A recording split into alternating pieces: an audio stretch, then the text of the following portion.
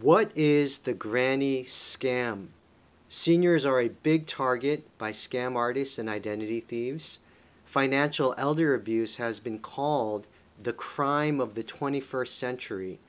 Seniors are often too embarrassed to report the crimes, and law enforcement has coined a phrase for one of these crimes.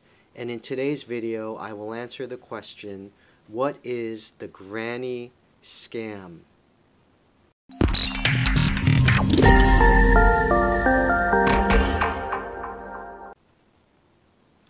In 2017, nearly one in five people reported losing money in an imposter scheme like the granny scam, amounting to a loss of 328 million according to the FTC, and those ages 70 and older have suffered the highest average losses.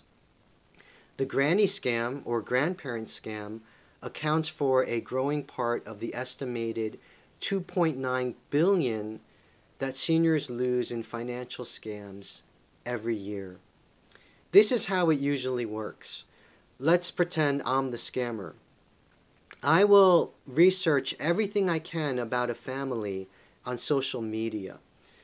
If the grandson, let's say his name is Matthew Smith, he's going on spring break vacation in Florida and he's posting it all over Instagram, Facebook, all over the internet. I'll learn everything I can and I'll call the grandparents.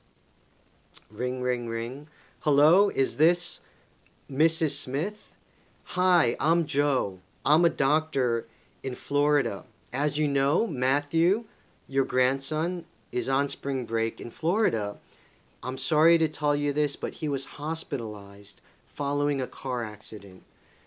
Please don't tell his parents. Matthew told me everything his parents are going through and he does not want them to be stressed. Don't tell his parents. We just need you to wire the money or just simply give me your credit card information so that we can pay his hospital bill and he'll be fine and on his way. All I need is $10,000 now. They send the money. The next day, I call them again. Hi, is this Mrs. Smith? I'm John. I'm an attorney in Florida. I work closely with the hospital that Matthew is in, and unfortunately, the car accident was Matthew's fault. And we can avoid a lawsuit if you pay the other person's hospital bill as well. If you could send me the money or give me your credit card information now, and we will take care of this right away. Once the money is sent, uh, you will probably never see it and get it back again. Here are other variations of the granny scheme. Hi, Grandma. This is Matthew. I'm sorry the connection is so bad.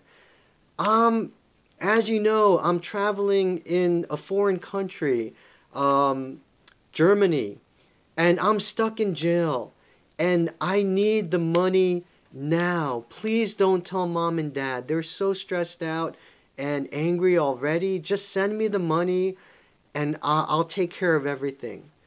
Another variation I'm the police officer and your grandson Matthew was arrested for DUI. Please send this money for bail and then we'll proceed and move forward and take care of him, etc., etc., etc. If you're a victim of the granny scam or another form of fraud, please report it to the FTC, the Federal Trade Commission, at ftc.gov/complaint, or you can call 1-877-FTC-HELP. Uh, the AARP has a fraud watch network that also provides tips and advice on how to spot and avoid scams. MetLife gave this advice.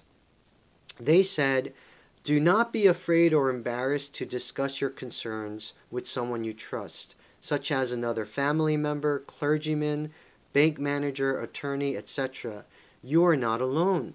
The situation could become worse if you do nothing. Knowing the resources you can turn to, including local police, your bank, if money has been taken from your accounts, and adult protective services are the first steps in addressing the problem. Uh, I hope this video was helpful to you. I would love it if you could press subscribe. And thank you for watching. Hope to see you in the next one.